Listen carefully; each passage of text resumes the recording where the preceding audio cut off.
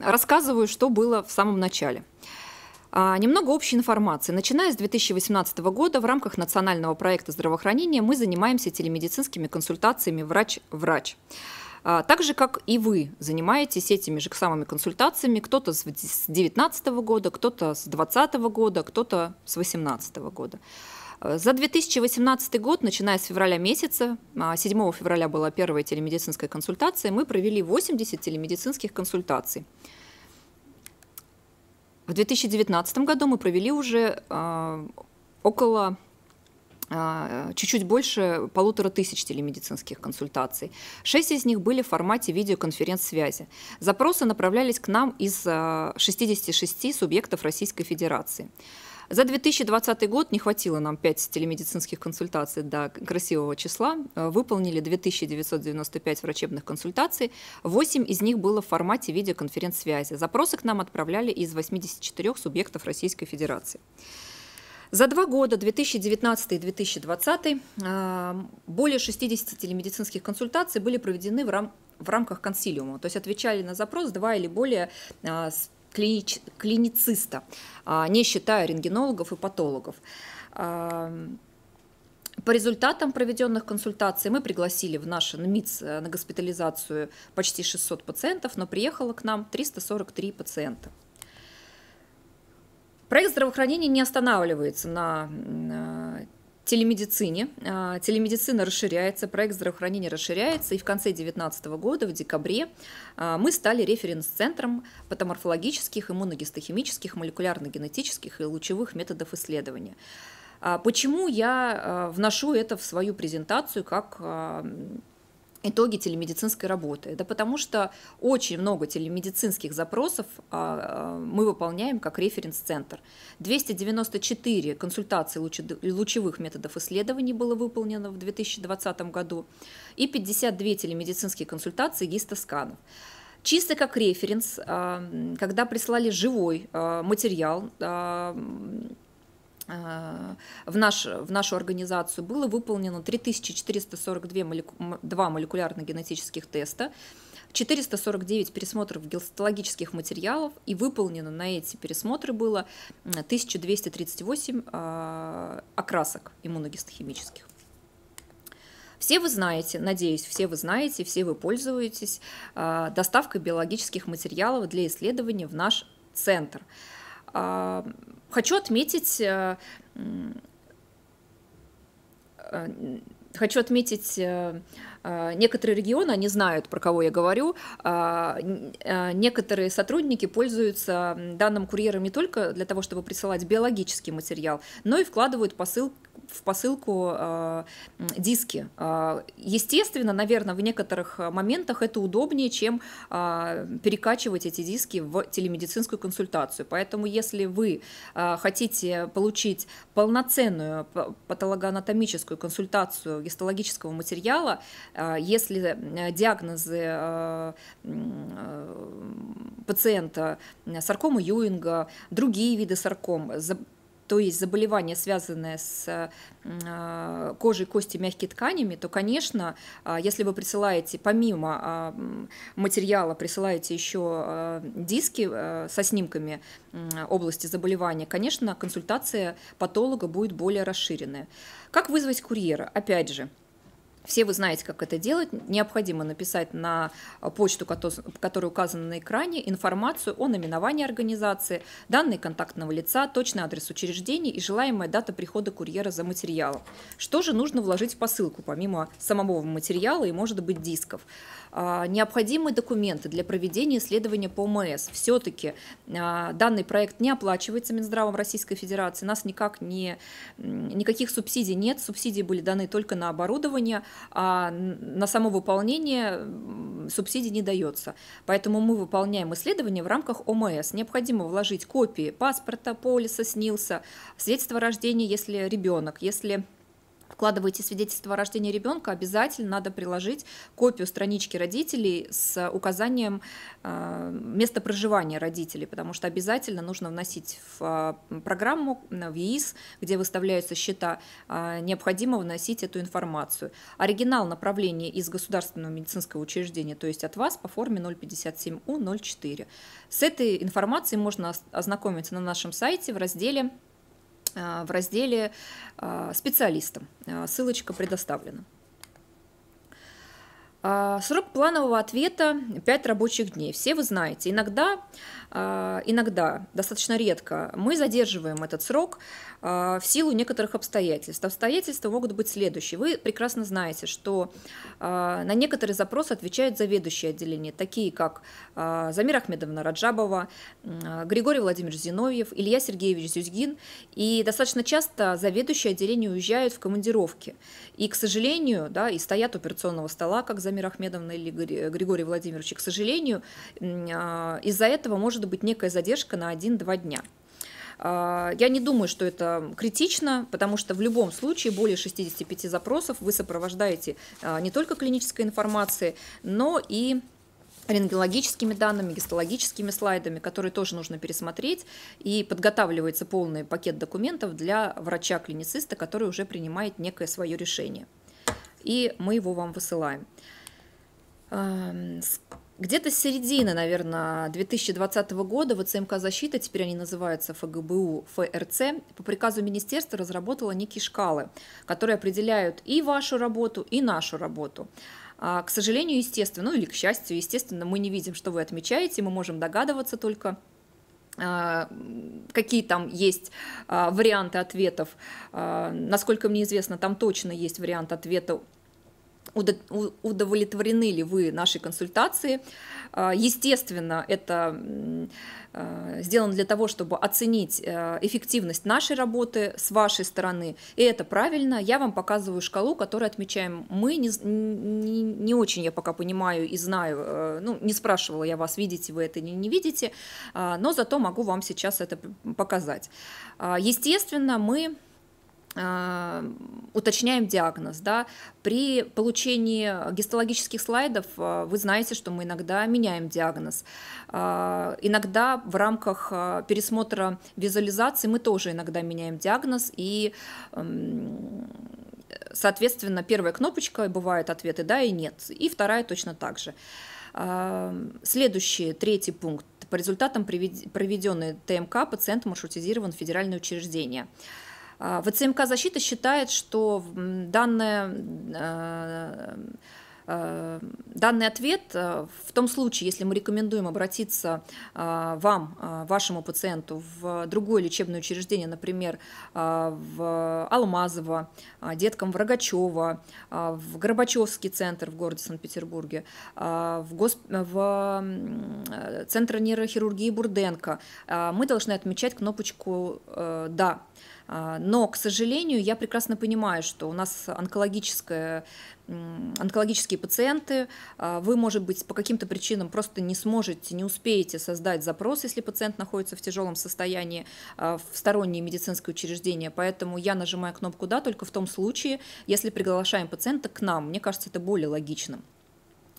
А следующий пункт э, достаточно очевиден, да, а, если мы рекомендуем какое-то дополнительное обследование, у нас обычно это эндосонография, то, а, конечно, мы отмечаем «да». Если даже мы вам рекомендуем пересмотреть патоморфологический материал у нас в нашем учреждении, то я не буду здесь ставить кнопочку «отмечать «да», я отмечу в следующем пункте «да», что по результатам проведенной ТМК пациенту э, необходимо проведение дополнительных исследований. Достаточно часто я использую использую а, ответ «да» в этом вопросе по одной простой причине, что даже при назначении некой схемы химиотерапевтической, смены лекарственного лечения, в любом случае необходимо сделать дополнительные анализы, ну, элементарно, хотя бы клинический и биохимический анализ крови перед началом а, лекарственного лечения. Поэтому тут достаточно часто я отмечаю ответ «да». Вроде бы как бы последний пункт э, очевиден, но, к сожалению, раньше он достаточно часто мной был использован. В 7% случаев я отмечала, что консультация была оказана вне в рамках проекта здравоохранения, потому что я не прибегала к помощи э, врачей. Э, это были организационные вопросы, и отвечала на них я сама. Сейчас э, функции программы изменились. И э, у нас помимо того, что есть кнопочка э, выполнена не в рамках проекта здравоохранения, мы еще начали пользоваться, очень активно начали пользоваться э, возможностью отклонить запрос. Э, тут много вопросов возникает в регионах. Э, с этого слайда начну показывать вам моменты, которые бы нам хотелось изменить э, в работе. Э, может быть, и вам тоже покажется это правильным, поэтому расскажу более подробно. А, знаю, что пациенты, естественно, очень часто переворачивают слова лечащего врача, и, э, но все равно они дозваниваются до нас и говорят, что вот Петрова отклонила, Петрова не хочет э, принимать консультацию, Петрова отказывает вам в лечении. Ну, это не так, это неправда, мы никому никогда не отказываем, мы всем готовы помочь и всем готовы организовать телемедицинские консультации. А, и отклонение запроса – это не просто э, нежелание работать, а всегда есть на это причина. И причину я всегда прописываю. Не отклонила я еще ни одного запроса, чтобы не прописать причину, по какой э, был совершен, было совершено данное действие. Целый слайд посвятила ошибкам, стандартным ошибкам, частым ошибкам. Почему-то дата рождения пациента очень часто оказывается датой заполнения поля а, паспортных данных пациента. Ну, ну, не может быть дата рождения пациента, запрос составлен 9 числа 4 а, месяца 2021 года и дата рождения пациента. Я умоляю, я прошу, а, я иногда даже требую, чтобы правильно заполняли это поле по одной простой причине, что это очень важно. А, мы путаемся. Это здесь хорошо понятно, дата рождения такая же, как дата запроса. А когда вы дату рождения берете вообще с потолка, непонятно откуда она взята, в документах э, приложенных предоставлена другая дата рождения, а в снимках друг третья дата рождения. Как мы должны понять, что это за пациент? Это важно, это очень гиперважно.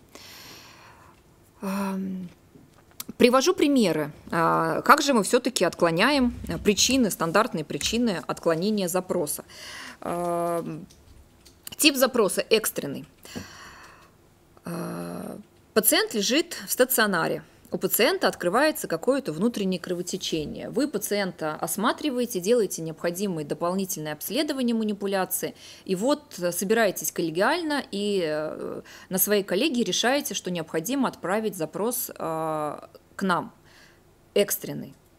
Окей, хорошо, понятно, никто спорить не будем, не будет, э, это экстренный запрос. Но если пациент не находится в стационаре, если пациенту необходимо пересмотреть гистологический материал, что даже в соответствии с приказом Министерства здравоохранения Российской Федерации номер 179Н имеет какие-то правила и сроки выполнения, да, не менее 7 рабочих дней, то о какой экстренности может идти речь? Если пациента нет, вы просите а, назначить, рассмотреть, пересмотреть схему химиотерапевтического лечения. О какой экстренности может идти речь? Сразу отвечаем на вопросы? Снять. идти речи не может. Мы будем отклонять эти запросы, потому что а, срок ответа на экстренные запросы 2 часа 24 часа. Мы физически не можем справиться а, с плановыми запросами а, с пометкой экстренный. Поэтому, уважаемые коллеги, обращаю ваше внимание, что тип запроса должен быть плановый. Мы плановое учреждение – и еще есть такой небольшой и очень неприятный нюанс, который случился в 2021 году. Субсидии Министерства здравоохранения Российской Федерации на телемедицинские консультации в плановых учреждениях не распространяется на экстренные запросы.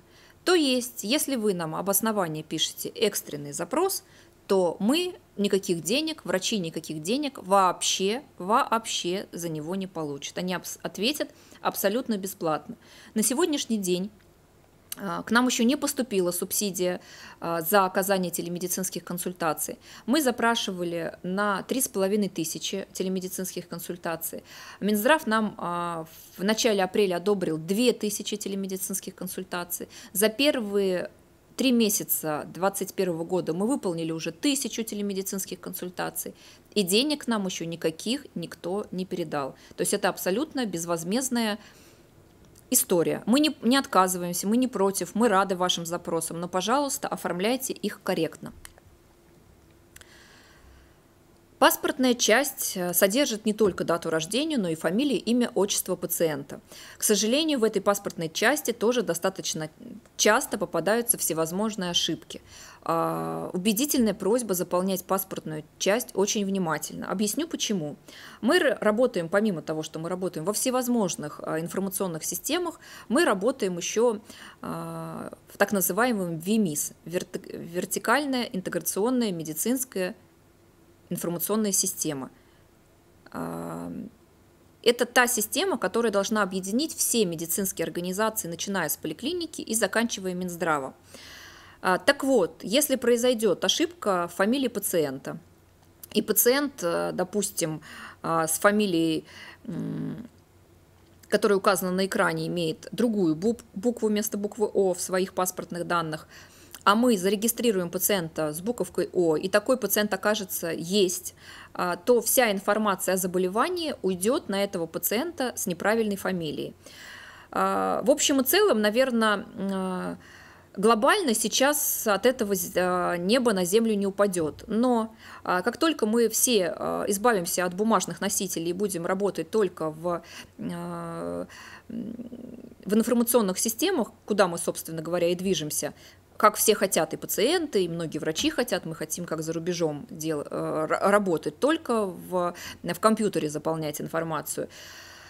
Так вот, этому бедному пациенту, наверное, потому что у него будет онкологический диагноз, э, ему даже кредит не дадут, потому вся информация э, хранится на серверах, вся информация будет храниться во, все, во всех доступных файлах, и э, откуда я это знаю? Потому что у нас есть пациенты, э, которые э, раньше оплачивали все время карточкой в НИЦ онкологии Петрова свои обследования, а потом они заметили, что информацию о кредитах, которых присылают бесконечно нам всем, вдруг и сумма кредита стала уменьшаться, смс-очки стали приходить другие, и процент кредита стал увеличиваться. Хотя зарплата у пациента осталась такая же, да, пациенты работающие есть у нас, а из-за того, что постоянно оплачивает в учреждении онкологического профиля, а, организации, банки уже про это про все прознали и а, пациент от этого страдает, да, то есть человек будет от этого страдать.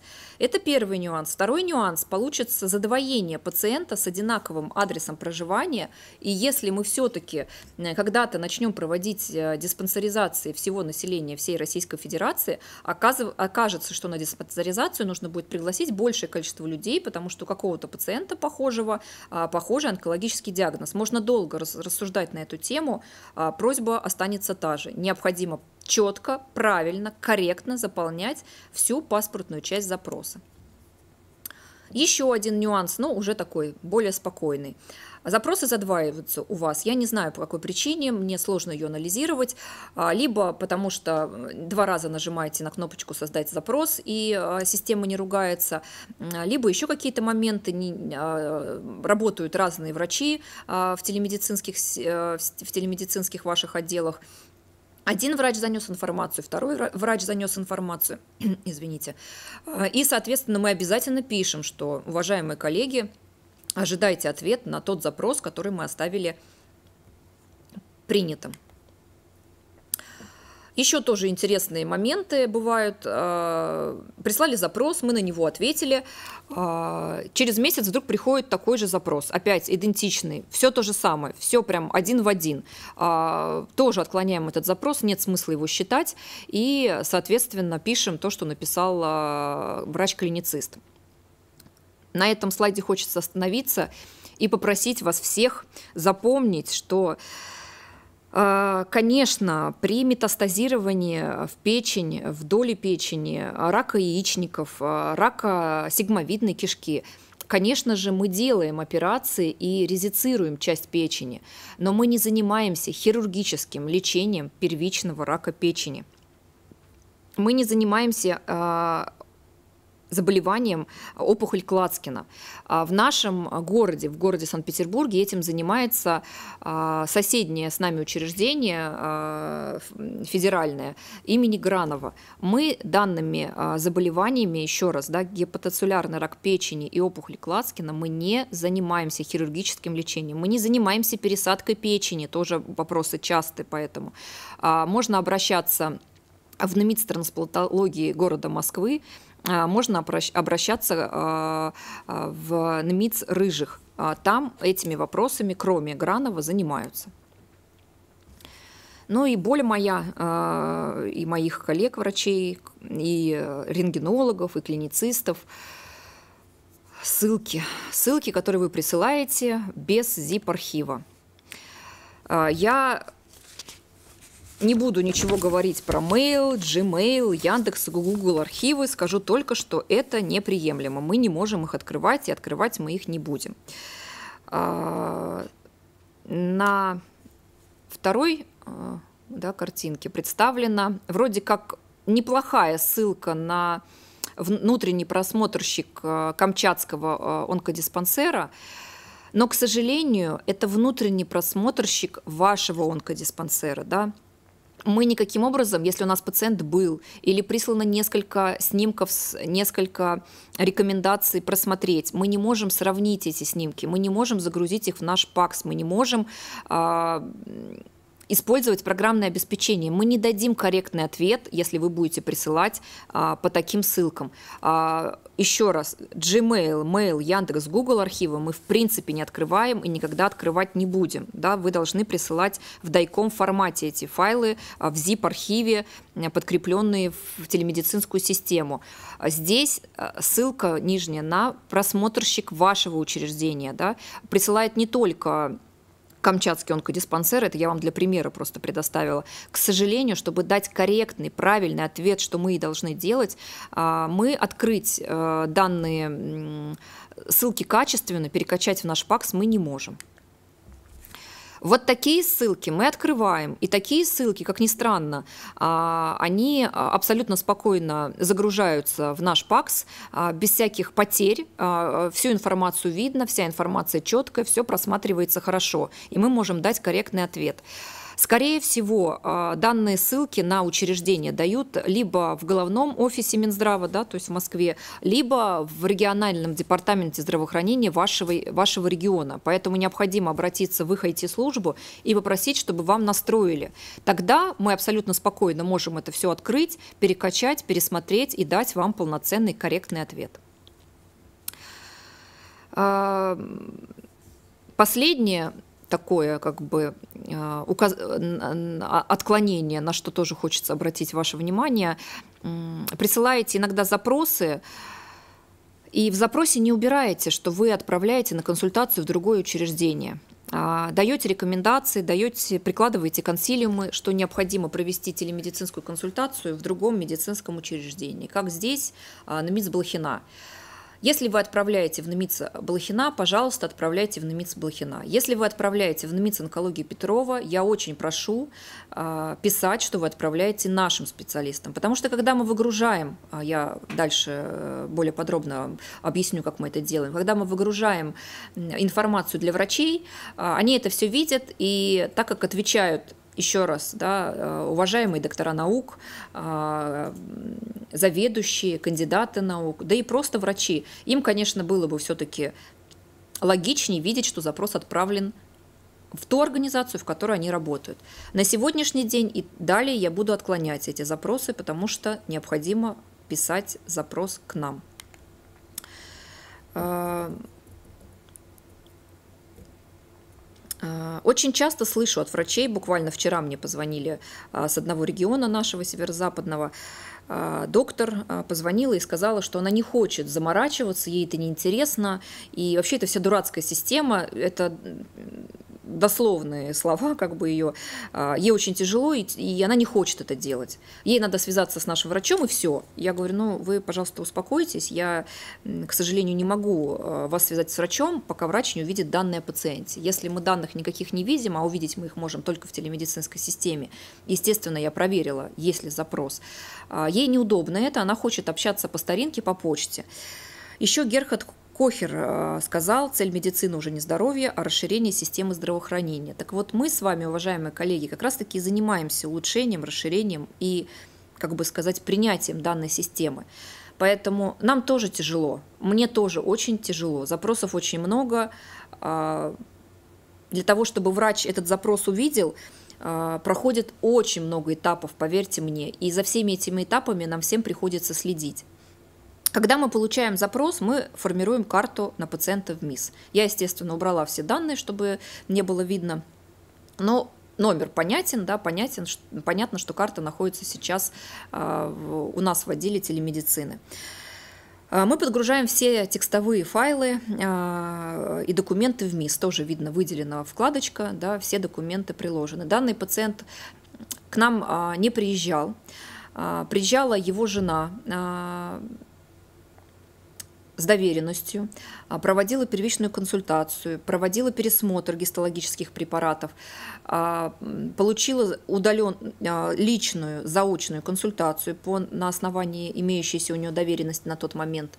И потом все время, слава богу, пациент сейчас в ремиссии, все время она заказывает в своем регионе, в Пермском крае, заказывает телемедицинскую консультацию, и э, я никогда не закрываюсь ни от кого, мой телефон есть на сайте, она звонит мне э, на мой рабочий телефон и всегда говорит, мы выслали запрос, посмотрите, пожалуйста, пришел ли он, и когда примерно будет от, э, ответ. Она знает все мои ответы прекрасно, она знает, что я скажу в течение пяти рабочих дней, да, мы получили, или там нет, мы не получили, но должно пройти какое-то время, потому что с момента создания, формирования запроса у вас до момента прихода к нам, запрос еще какое-то время находится в ЦМК пока они отожмут кнопочку, распределят на, тот или, на то или иное учреждение. Поэтому не всегда одномоментно это все получается. И между а, загрузкой вашего запроса до поступления этого запроса к нам проходит, даже может пройти 24 часа. Всякое бывает, поэтому всегда а, а, оставляем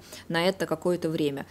Соответственно, когда она уточняет у меня, что запрос уже поступил, она успокаивается и абсолютно спокойно ждет ответ, который дадут наши специалисты. А, это хороший вариант, когда все хорошо. А, если же, а, что, что же может быть еще плохого? Да? Если же присылаются, присылаются визуализации, которые мы тоже должны открыть, у нас нет прямого доступа в ПАКС, нам приходится выкачивать информацию из телемедицинской системы. То есть мы тоже тратим то же самое время, как вы вкачиваете туда, мы столько же времени выкачиваем, никак не меньше. Гистологические слайды у нас иногда качаются ночь. Мы оставляем включенный компьютер, и мы ночью качаем гистологические слайды. А, открываем эти, эту информацию, вдруг видим, что на описании диска а, оказывается, что пациент у нас анонимус, да, или сервис пациент, что тоже не редкость. А, да, вы мне все скажете, окей, хорошо, но система уже закрытая, мы же указали а, правильную дату рождения. А где гарантия, что это правильная дата рождения, когда я постоянно вижу ошибки в дате рождения пациента? Да? Мне хочется что-то с чем-то сравнить. Если на выписках присутствует дата рождения пациента и фамилия, имя, отчество его, а на снимках нет ничего, мы не будем а, безликие снимки пересматривать. Уж простите, пожалуйста, но бывают случаи, когда снимки вы закачиваете не тех пациентов. И это, к сожалению, не редкость. Да? Нам приходится выяснять, звонить, а, созваниваться, пояснять. Иногда даже наши врачи, когда вы присылаете энное количество снимков, иногда наши врачи говорят, это снимок не того пациента. Иногда в запрос женщины вкладывают э, мужской снимок. Да? То есть это бывает. И, соответственно, для того, чтобы убедиться, что мы отвечаем качественно и правильно именно на того пациента, на, на который вы бросили запрос, нам необходимо убедиться. И убедиться я могу только тогда, когда на снимках указана а, хотя бы фамилия без инициалов и дата рождения пациента, чтобы свериться, чтобы это все было одинаково. А, далее, а, если все мы выгрузили в ПАК, все отлично, хорошо, мы а, в некую беседу, у нас есть беседа с отделением лучевой диагностики, безликая, отправляем информацию о том, что снимки залиты в ПАКС, документы выложены под пациентов документы. Когда и параллельно с этим мы создаем тоже обезличенную беседу с конкретным врачом по нозологиям. Соответственно, я либо мой как бы помощник, да, специалист отдела телемедицины, а, следят за тем, чтобы увидеть э, в системе, что рентгенологическое описание готово, и мы пишем об этом клиницисту, клиницистам, что рентгенологическое э, заключение готово, и, пожалуйста, ознакомьтесь с информацией, дайте, пожалуйста, ответ.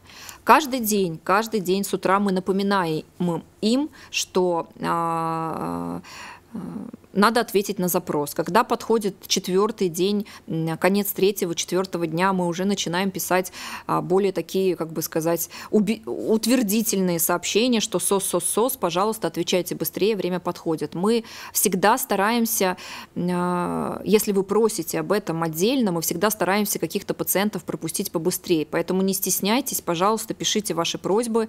А, в конце презентации будут, опять же, мои телефоны, вы можете на WhatsApp написать, и никогда, ну, мне кажется, никогда ни разу я за, всю, за все время работы не отказывала никому и всегда стараюсь помочь э, врачам получить э, ответ, результат быстрее, чем это возможно. Хочу обратить ваше внимание, да, вот я рассказываю, что мы это все выкачиваем, перекачиваем, информацию закачиваем в нашу МИС, а что когда мы это все делаем, часть информации, которую вы заполняете в электронном виде в телемедицинской консультации может потеряться, потому что мы экспортируем, так же как вы экспортируете наши ответы, мы тоже экспортируем вот этот вот весь как бы файл, да, он в, выходит в формате Word документа. И обращаю ваше внимание, если вы не а, заполнили дополнительные вопросы к консультантам, то вот эта ваша цель консультации, по всей видимости, вы заполняете ее автоматически, вы не ручками ее заполняете, потому что очень похожие здесь постоянно с разных регионов э, слова, э, словосочетания, поэтому я сделала выводы, что, скорее всего, цель консультации вы заполняете автоматически, выбирая из предложенных. Врач, когда мы врачу выгружаем информацию о запросе, видит только ваши дополнительные а, вопросы консультантам. Вы видите, да, то есть эта система показывает нам, а это показывается врачу, когда он открывает документ.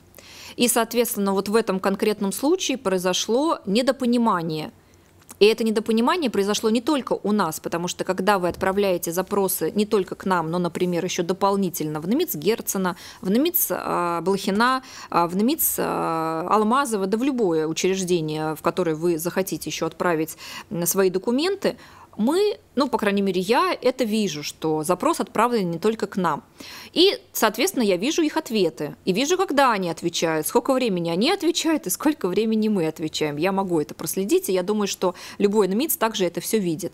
И, соответственно, как наши врачи не поняли этот э, запрос, также и врачи НМИЦ Блохина тоже не поняли этот запрос. И мы, и они ответили только на пересмотр гистологических препаратов. Мы передали документы все а, по своим каналам а, Анне Сергеевне Артемьевой, она пересмотрела, дала свой диагноз, и мы отправили ответ. И что же мы получаем на следующий день? На почту. А на почту мы получаем следующее. Доброго времени суток, беспокоит врач-онколог, та-та-та-та-та.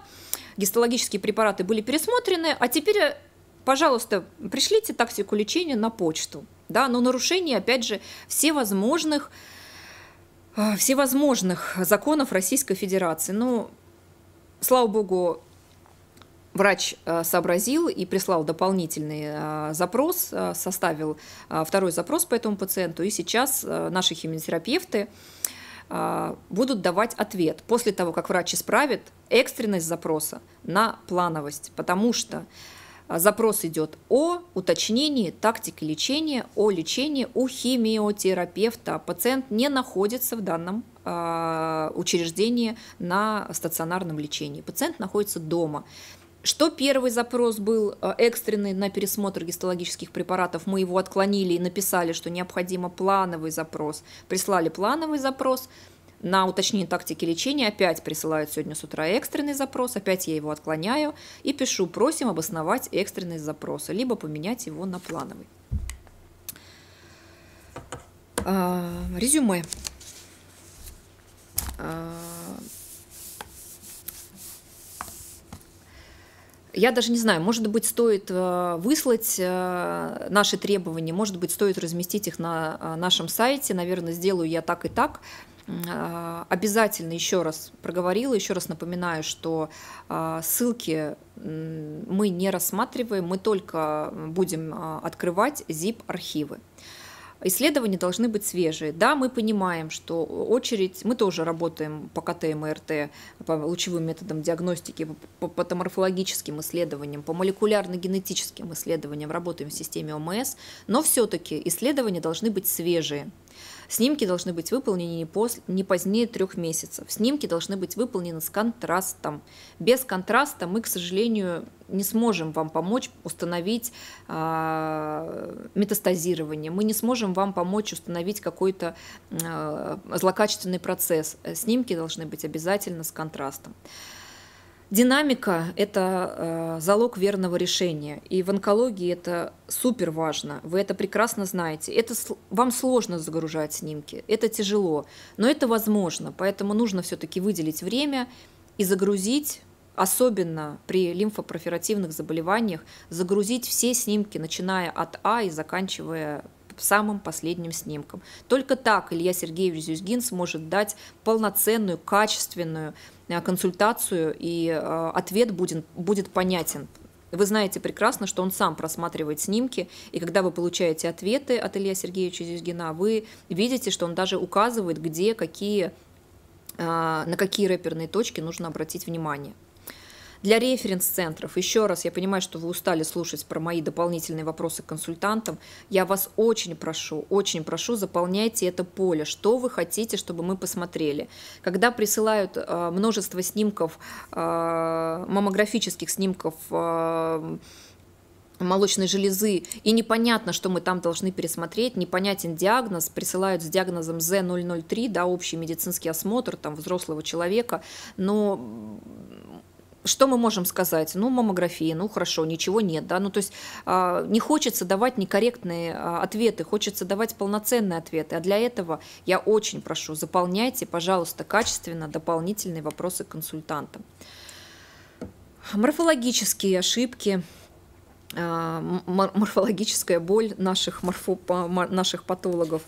А, на самом деле я здесь а, собрала немного, у меня два листа исписано того, что хотят наши патоморфологи видеть. Но самое главное, да, если вы сканируете с артефактами, ну какой же мы можем дать ответ? Ну никакого мы не дадим ответ. Ну некачественный это будет ответ, неправильный. Если вы предоставляете опять же, сканы, а, гистосканы неправильно а, с неправильными наименованиями, они у вас какую-то перемешку идут, вы взяли биопсию с нескольких мест, а, вы присылаете нам все это в одном архиве, мы даже понять не можем, ну, можем, конечно, да, но нам приходится тратить огромное количество времени, чтобы разорва, разобрать весь этот архив, разложить все эти гистосканы, посмотреть, что, откуда, где взято, ну, некорректно это, необходимо все-таки в разных а, а, папках присылать, по-разному их наименовать, и вам же будет удобно, у вас же получается то же самое в вашем пакс-сервисе. У вас получается все это в разнобой как-то там у вас лежит, и вы сами потом не сможете найти, что конкретно вы нам а, посылали. Ведь система она не бесконечна. А сервис в, э, в ЦМК защите, он тоже заканчивается, да, и сейчас вы уже не можете открыть ответы 2019 года и скачать их к себе. У вас будут проблемы, у вас возникнут трудности, вы не сможете скачать, у них это все исчезает, ответов вы не видите. Поэтому просмотреть конкретно, какие вы нам а, гистосканы присылали, ну, составит большой труд а, и для вас, и опять же для нас. А если вы в сопроводительной документации указываете, что было ИГХ, а нам присылаете элементарную первую окраску, а все остальное не присылаете, ну какой же мы дадим корректный ответ? Мы дадим некорректный ответ, который вас не удовлетворит. Мы напишем, что для определения э, диагноза необходимо выполнить э, ИГХ-исследование. Да? Присылайте сразу все.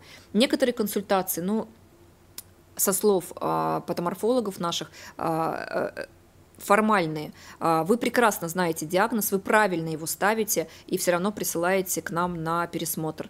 Большого смысла в этом нет. Если вам, конечно, очень нужно, присылайте, но хотя бы напишите, что вы уверены в диагнозе, да, посылаем там а, для подтверждения диагноза такого-то, да, не просто высылаем для подтверждения диагноза, а мы уверены в диагнозе, но вот, допустим, пациент хочет его сравнить в НМИС онкологии Петрова, ну, к примеру, да, а, и присылаете сканы только одного гистологического исследования, хотя сами выполнили несколько, взяли биопсии из разных мест, опять же, да, но нам прислали что-то одно. А для того, чтобы поставить правильный диагноз, нам тоже, мы такие же, как и вы, нам тоже нужно сравнить все, что только можно.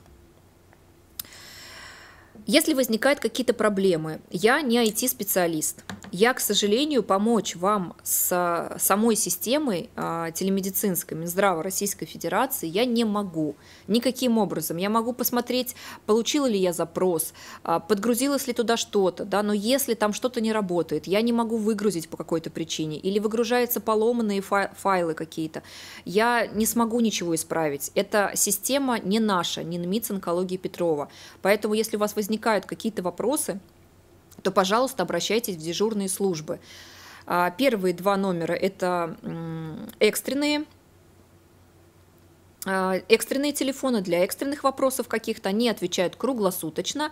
А последний телефон – это телефон для плановых консультаций. Там отвечают в рабочее время по Москве, естественно. Так что кто, же, кто находится далеко, у кого разница со временем большая, потому что Россия страна огромная, необходимо звонить по первым двум телефонам.